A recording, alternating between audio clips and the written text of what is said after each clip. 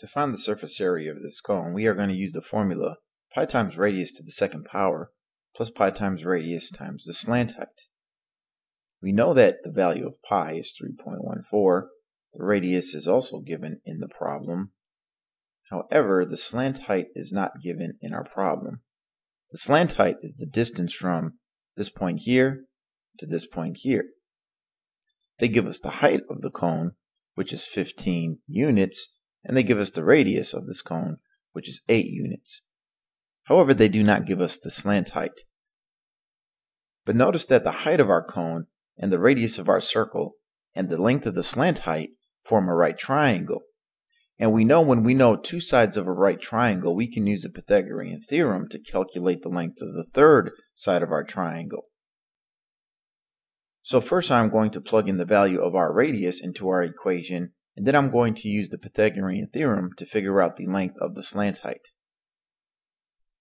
So first I'm going to write pi times the radius, which in this case is 8 units. We are going to square that, plus we are going to multiply pi times our radius, which is also 8, and multiply that by the slant height, um, which we are trying to calculate by using the Pythagorean theorem.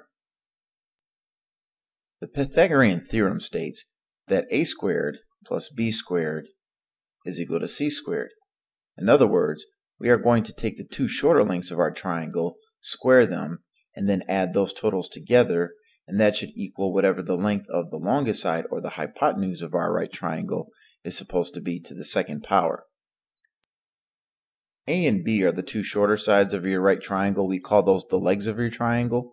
So we're going to plug in 8 into A, square that, plus we're going to plug 15 into B and square that, and that will be equal to whatever c is to the second power. 8 to the second power is 64. 15 to the second power is 225. And that is going to be equal to, once again, whatever c squared is. 225 plus 64 is 289. Bring down equals c squared. And now we have to isolate the c and get it all by itself. So we have to eliminate this exponent of 2 right here. And to get rid of an exponent of 2, you do the opposite, which is to do the square root. The square root of something is the opposite of putting something to the second power.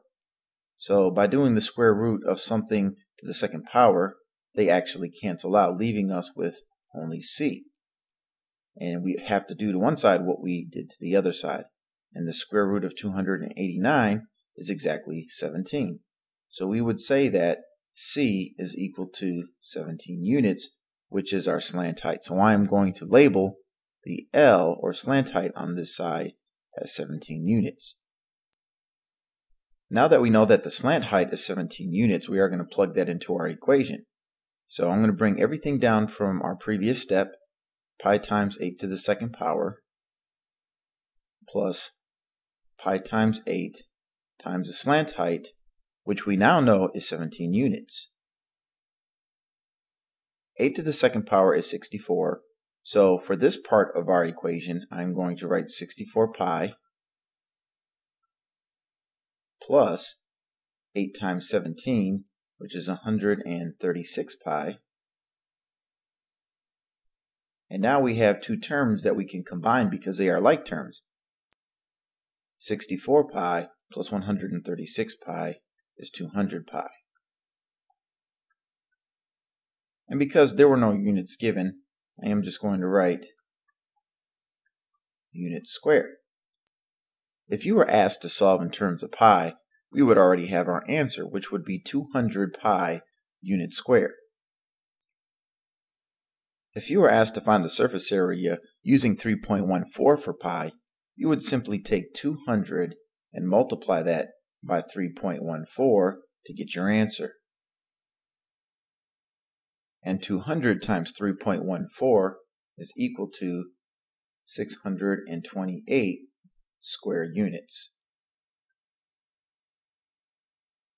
So this answer here is the answer that you would give if you were solving using 3.14 for pi, and 200 pi is the answer that you would use if you were solving in terms of pi.